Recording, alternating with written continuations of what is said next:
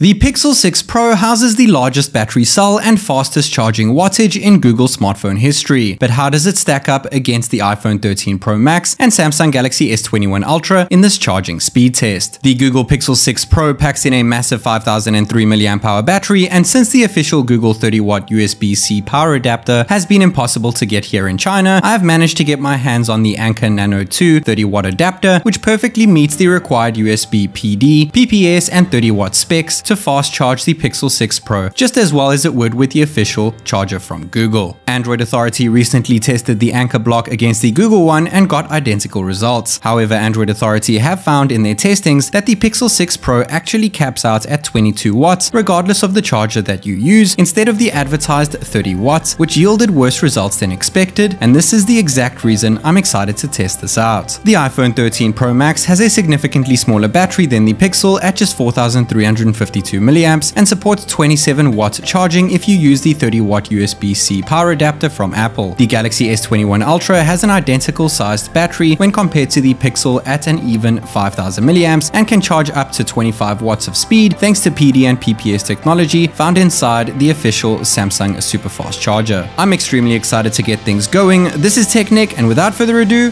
let's go! Before we pop all phones on charge, it's worth checking the temperature at this current point in time. All phones are currently unplugged and they have been sitting idle and flat for the last few hours. Popping them all on charge and hitting the time phone on the right hand side, you can see the time interval at the top right hand corner, which is in relation to the percentage above each device. I have made sure to disable all forms of adaptive and optimized charging on the iPhone and Pixel and made sure that fast charging and super fast charging is enabled on the Samsung. After the first five minutes, we have 8% on the Pixel, 10% on the iPhone, and 10% on the Samsung with the iPhone and Samsung leading the pack over here with the same 10%. Hotter so far, the Samsung, cooler so far is the Google Pixel after 10 minutes, 16% on the Pixel 6 Pro, 19% on the iPhone 13 Pro Max, and 21% on the S21 Ultra. After that interval, we have the hottest store as the Samsung and the coolest store as the Pixel with the iPhone right in the middle. We have 24% on the Pixel after 15 minutes, 29% on the iPhone, and 30% on the S21 Ultra, which is now pulling ahead of the iPhone 13 Pro Max by a little tad.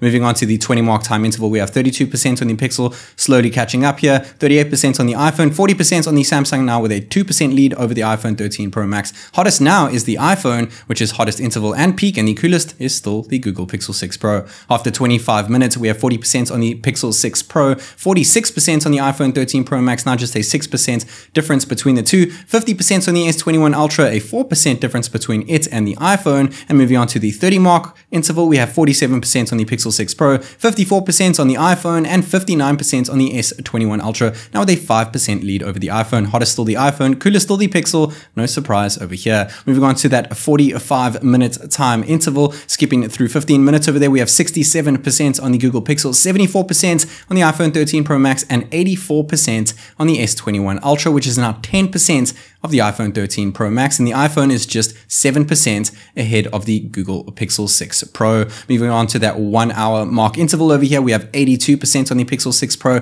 now closing the gap between it and the iPhone with 86%, 96% on the Samsung Galaxy S21 Ultra with the lowest charging wattage and pretty much the biggest battery neck and neck with that of the Pixel in terms of battery capacity, ends off one hour and six minutes, zero to 100%, which is absolutely fantastic and was coolest in the last interval over there and is super darn cool closing off its result over here with a mere 33.7 degrees in Celsius, one hour and six minutes with 75.76 milliamp hours per minute and 25 minutes to get to 50%, which is impressive to say the least. After one hour and 15 minutes on the Pixel and iPhone, the Pixel sitting at 92%, which is now just 3% behind that of the iPhone. Coolest interval this time was the iPhone and hottest interval was the Pixel, but not much of a difference over there. Hottest peak still the iPhone and the iPhone sitting at 99% over there and reaching one hour and 29 minutes. It hits 100%. The iPhone iPhone beat the Pixel, but you got to remember it does have a significantly smaller battery when compared to the Google Pixel 6 Pro's 5003 mAh cell, 97% on the Pixel 6 Pro after 1 hour and 30 minutes.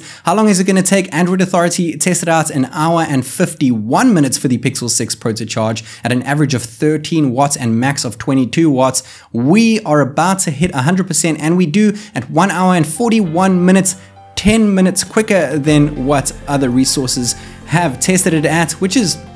not too bad. An hour and 41 minutes is still pretty slow, but I mean, you've got to consider it is a massive battery and it is the fastest charging and largest battery cell we've seen in a Pixel device to date, so I'm still pretty impressed. Third place over here, of course, the Google Pixel 6 Pro with an hour and 41 minutes, which is not half bad considering it has a massive 5003 mAh battery and a 30 watt charging, though apparently it only caps at 22 watts. Second place, the iPhone 13 Pro Max with a significantly smaller battery than the Pixel at 4352 milliamps, an hour and 29 minutes thanks to 27 watt charging. And moving on to the first place king over here, the S21 Ultra, an hour and 6 minutes, 25 watt charging and a similar size battery to the Pixel at 5000 milliamps, which is definitely very impressive. Now taking a look at the milliamp hour per minute reading from 0 to 100% at the center of the screen, the Samsung got 75.76 milliamps, whereas the iPhone got 48.91, which is actually the worst since the Pixel got 49.54 milliamp hours per minute because it has a larger battery than the iPhone and only finished 12 minutes after the iPhone did. Now if we take a look at the bottom of the screen, the Pixel 6 Pro charged the slowest compared to the other two devices to get to its first 50% doing it in 32 minutes getting a milliamp hour per minute reading of just over 78 whereas the iPhone did it in 27 minutes got a milliamp hour per minute reading of almost 81 milliamps and the Samsung did it in just 25 minutes with 100 milliamp hour per minute even.